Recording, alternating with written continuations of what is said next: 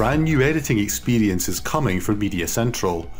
No longer be bound by a single track of video and a few audio tracks.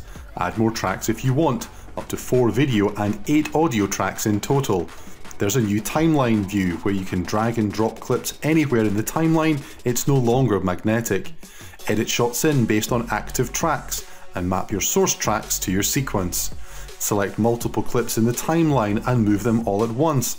Select multiple clips in a folder and drag them direct to the sequence. Use the weightlifter or the scissors to lift or extract shots in the timeline. Splice your clips in using drag and drop or the insert buttons and place your clips exactly where you want them. Add not just video dissolves, but audio dissolves too. Just some of the enhanced editing features in MediaCentral Cloud UX.